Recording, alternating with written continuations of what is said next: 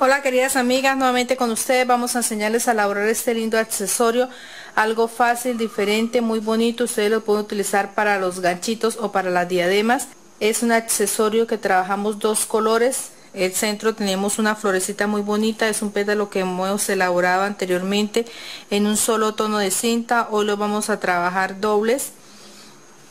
Acá tenemos el mismo accesorio, las mismas medidas, lo único es que en el centro hemos trabajado una flor de seis pétalos. Los materiales que vamos a trabajar son los siguientes. Vamos a trabajar cuatro listones de 4 centímetros de ancho 24 centímetros de largo. 8 listones para el centro del lazo 4 centímetros de ancho 9 centímetros de largo. Vamos a trabajar lo que les decía dos colores el gancho clip y la decoración que ustedes deseen.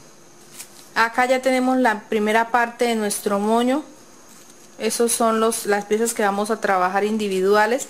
Al unirla nos van a quedar de esta forma. Ustedes lo pueden utilizar por cualquiera de los dos lados para que ustedes decoren el moño. Espero puedan observar bien cómo vamos a elaborar cada una de las piezas de nuestro moño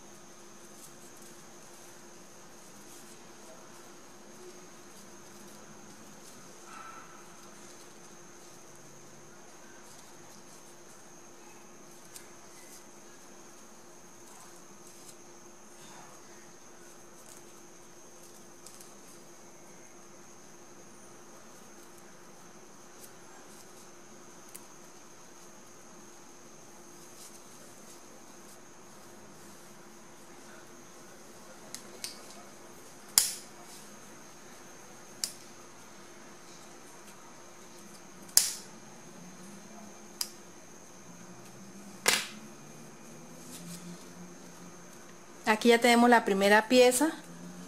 Este es el otro lado. Lo pueden utilizar por cualquiera de las dos. Vamos a armar la otra pieza. Se doblan en la misma forma pero uno hacia el lado izquierdo y el otro hacia el lado derecho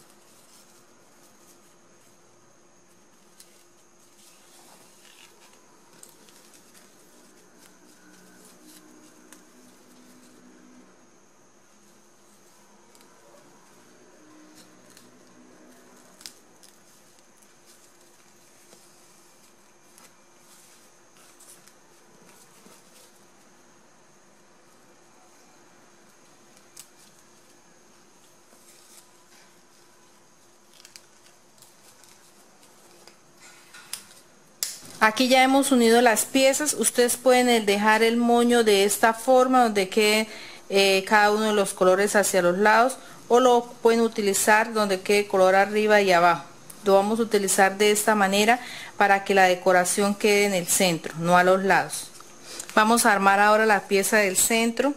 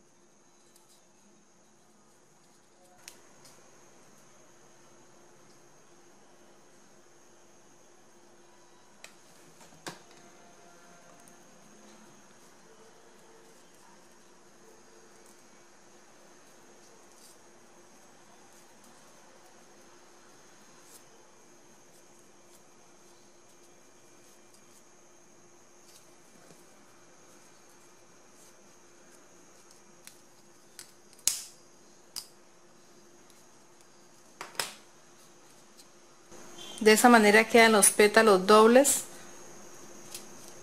para decorar el centro de nuestro moño